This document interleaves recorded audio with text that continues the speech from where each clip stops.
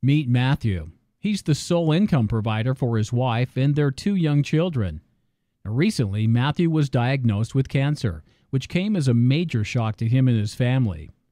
As anyone who's been in this situation knows all too well, cancer can bring tremendous financial strain. As a result, someone in Matthew's position typically ends up making treatment decisions based on cost rather than what's best for their health. They're also usually forced to sacrifice their family's lifestyle to pay medical bills and often end up filing bankruptcy. But that didn't happen to Matthew because he was able to use his life insurance policy to access the money he needed to help him through his cancer treatment by taking advantage of a living benefit loan from Life Credit Company. The way it works is simple.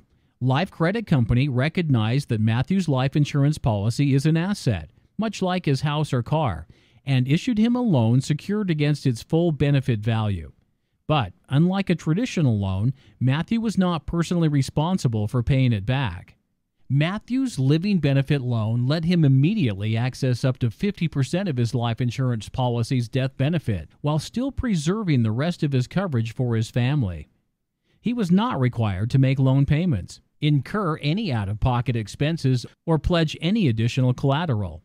And Life Credit Company paid all of Matthew's future life insurance premium payments. Matthew's loan will ultimately be repaid from his policy's death benefit proceeds, with the remainder going to his wife and kids. That means that a portion of Matthew's life insurance policy remains in force, giving him the peace of mind in knowing that his family will be taken care of. Regardless of what type of life insurance policy you own, if you've been diagnosed with cancer or other serious illness, you can borrow the money you need today and let your life insurance repay the loan for you.